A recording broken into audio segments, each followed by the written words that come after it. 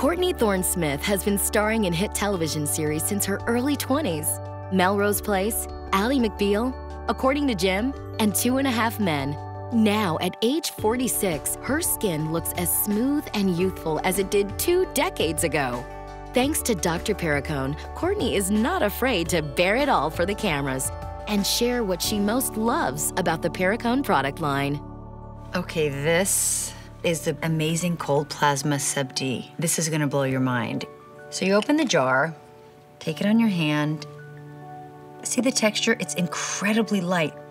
This skin on me was starting to get crepey and I was starting to get self-conscious. And literally one day I looked and I saw a picture and I went, oh.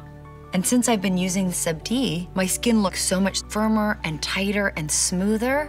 It's really incredible. Because I don't know about you, but I did not have anything to use on my neck. It's amazing. We have to talk about this. This is the high potency amine facelift. I put this on and I walked by a mirror and I did a double take. I'm not even kidding.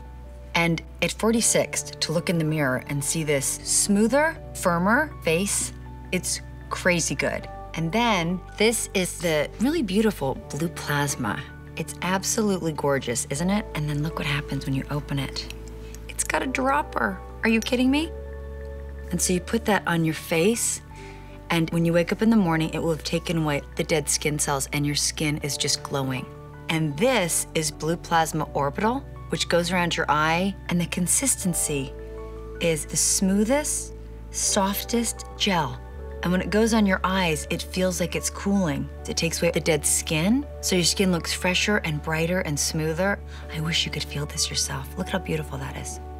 If you feel self-conscious about your neck and décolleté or your jawline, please try the Perricone products. It really does make a difference.